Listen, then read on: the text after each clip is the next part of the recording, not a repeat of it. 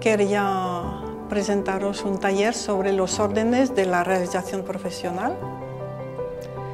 Esos órdenes son en orden de importancia. El primero, el asentimiento a todo como es, o sea, la conexión con algo más grande. El siguiente es el agradecimiento a todo como es. Después viene tomar al Padre tomar incondicionalmente al Padre. De ahí surge la fuerza para trabajar y realizarse en el trabajo. Después, tomar a la Madre y al Padre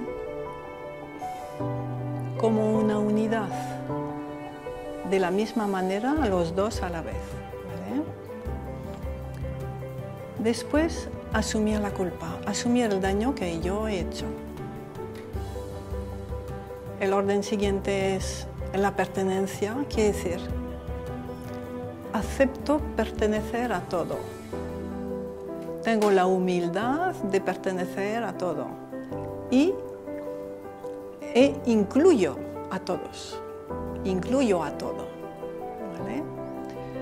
Y el último es eh, encontrar nuestro lugar, el orden jerárquico.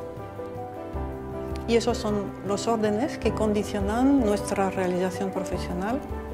Es lo que vamos a desarrollar en ese taller.